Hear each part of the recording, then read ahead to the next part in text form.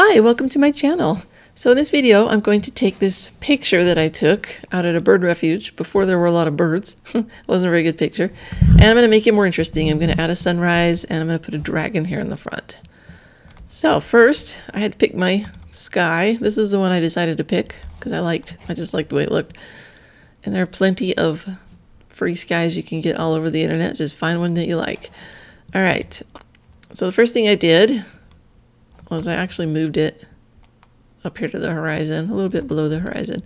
And then I kind of, I wanted to squish it a little just to make the clouds more dramatic. And then I need to get rid of this hard line here. So come down here to the, and click mask layer and put a mask on it. And then come up to the gradient tool. We're going to start at the top and we're just going to drag it down to, well, just above the bottom. And I'm actually going to pull that down too. There we go. Because I want some of the mountains to come through.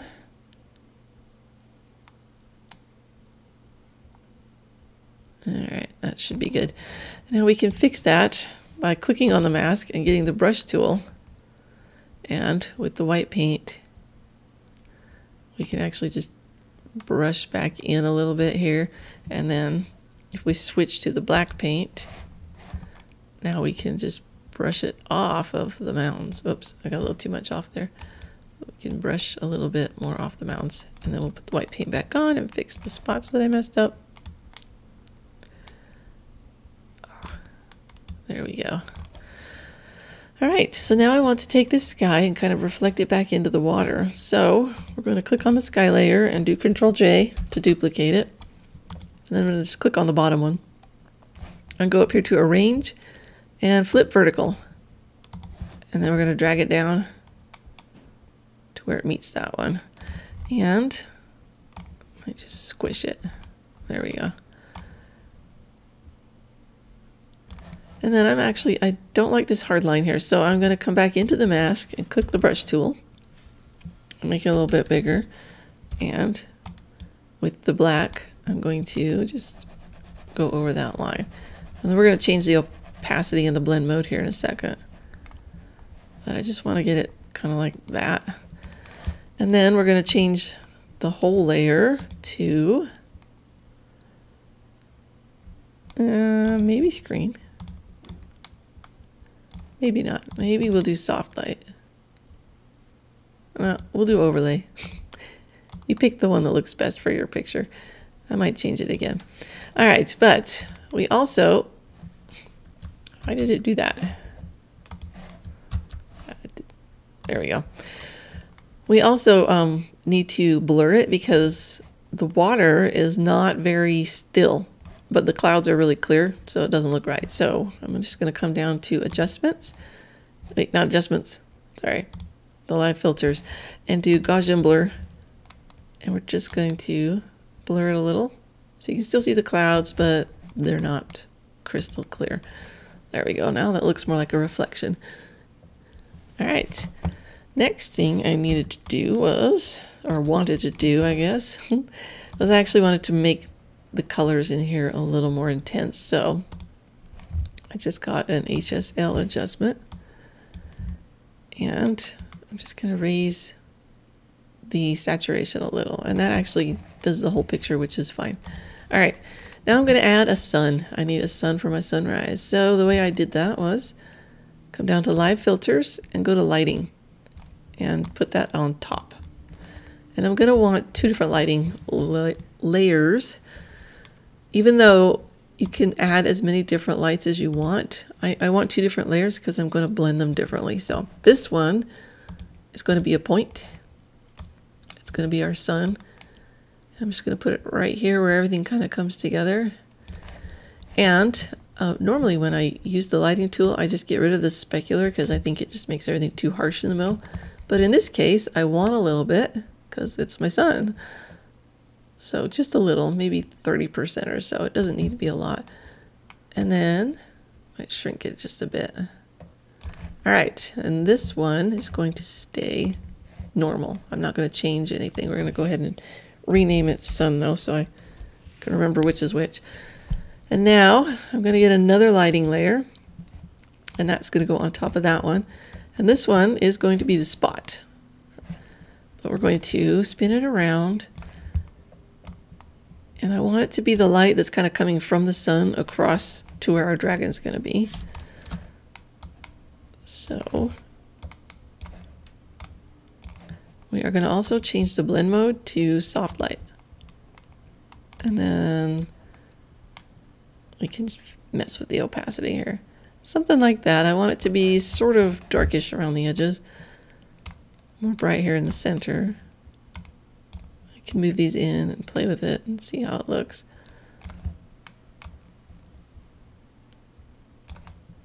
Maybe we'll move this down a little. All right. So that's what we have so far. So now I want to put a dragon right here. And this is the dragon that I'm going to use. This is what it looks like. I'm going to drag it down underneath our lighting layers, but above everything else. And the first thing I want to do is make a shadow for it, because it, it, right now it looks weird. So we need to make it look like it's sitting on the grass. So there's a lot of different ways to make a shadow, but this one, all it needs is just a nice soft little light or a nice, not light, a nice soft shadow under there. It doesn't need anything harsh. So I'm just going to come down here and add a pixel layer and I'm going to put that underneath our dragon and just get the brush tool with not quite black, like 90% black and maybe make it a little smaller. And then I'm just going to sort of paint where I want my shadow. And we're actually going to change the blend mode to multiply. And if you accidentally do something wrong, like too much shadow or something, that's fine. It can just be erased. So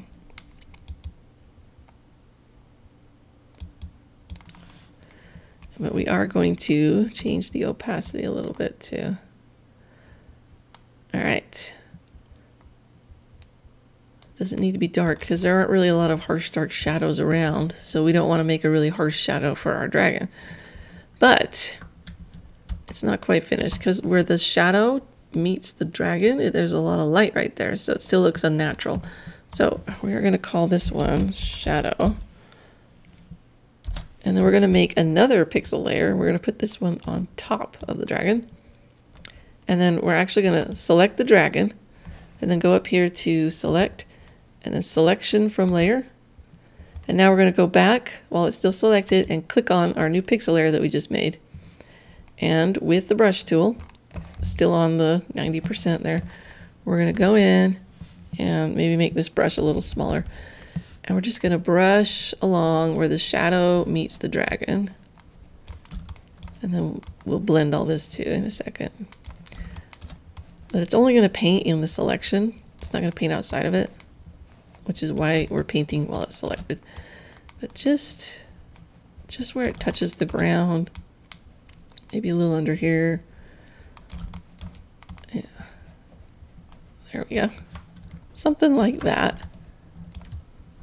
Now Control D deselects, and that looks a lot better, but we're also going to change it to multiply and maybe change the opacity just a little.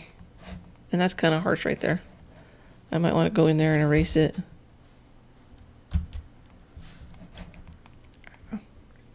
There we go. I pushed the E too many times.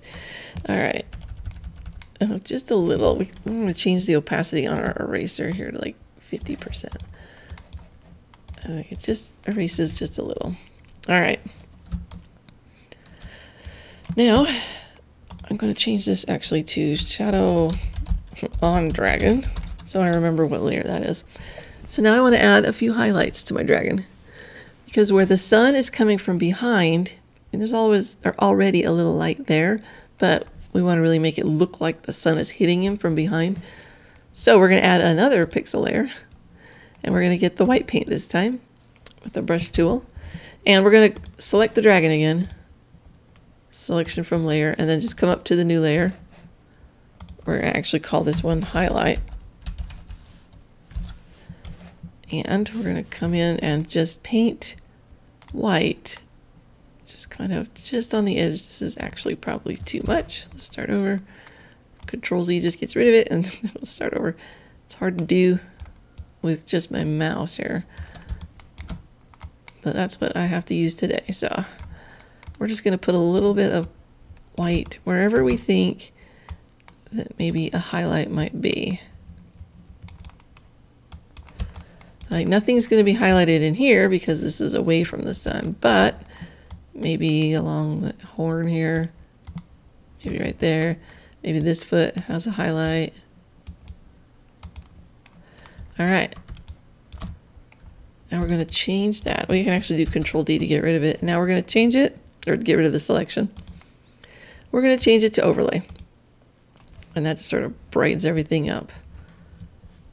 And now that looks a lot better, but the dragon still could use some more help. So we are going to click on the dragon again. And in order to bring in some of the surrounding colors, my favorite way of doing that is to go to adjustments and gradient map and then drag the gradient map down onto the dragon. There we go. And now we're going to use the red over here as our shadow color. So click on the red, get the eyedropper tool and find a dark color that could be a good shadow. We'll just use the dark blue over here.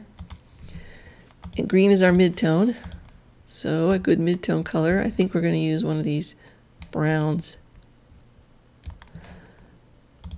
That might be too dark. Let's pick a lighter brown.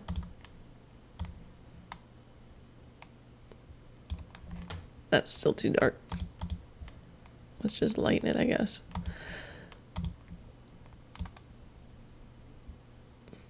There we go. All right, and a highlight color. We'll just pick the white in the middle there. And now for the blend mode. Uh, it could be a lot of different things depending on your picture. Sometimes multiply works, sometimes linear light works really well. And in this case, it might because it gives it kind of a shine and dragons are scaly and shiny, but I think it might be too much for this, but let's try it. We're going to turn the opacity all the way down and start at zero and slowly go up to where I like it. And this one, I don't know. It doesn't look bad, but I'm not sure I like it. So let's try, let's try overlay or soft light. I like overlay. I like overlay better. Every picture's going to want a different blend mode. There we go. And also because we've got some pinks going on in here, I think it wouldn't hurt to just make one more pixel layer and put it on top of everything else. And we're going to call this one pink highlight. And we're going to get just the brush tool. Make sure we have that. And I always push the B too many times and go too far. There we go. We want the paintbrush tool. But first we need to select our dragon again. There we go. And then go back up to our pink highlight layer. And we're going to get the eyedropper and we're going to just get a real light color. This one might actually be not quite right. Let's see. Yeah, we'll try it. All right. We're going to go in and just put a little pink right along the edge. Yeah, that might not be pink enough. And maybe a little on this horn. And we're going to change this to overlay as well. Yeah, it might not be pink enough. Let's change it again. Let's get something pinker. I want something bright and pink.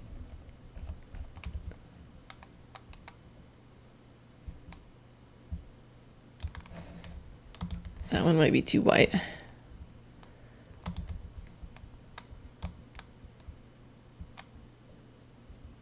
Let's try this one. Let's see how that does. I just want a little bit, there we go. Just a little, a little hint of pink. Not a lot.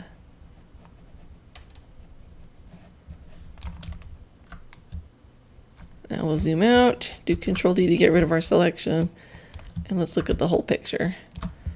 Yeah, let's look at the before and after. See, it just adds just a little color, barely noticeable, but you will notice. All right. And that's that's pretty much it. We could do a lot of other things.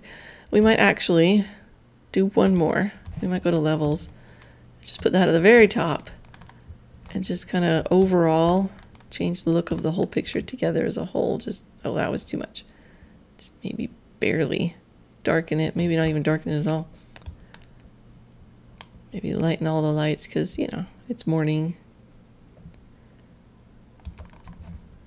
There we go. Uh, one more thing we can do is come down here and actually just make a new layer at the very top there and get, get the brush tool again. This time we just want white. Let's just go here and get white. And make it small.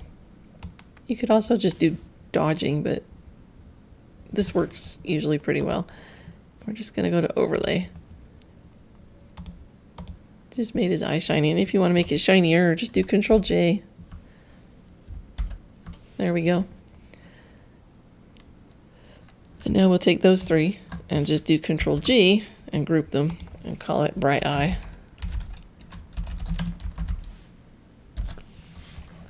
And now he's got a bright eye, just because that looks kind of fun. And we could go back in and make the shadows more shadowier with some dodging and burning and stuff, but I'm going to just leave it like that. That looks pretty good.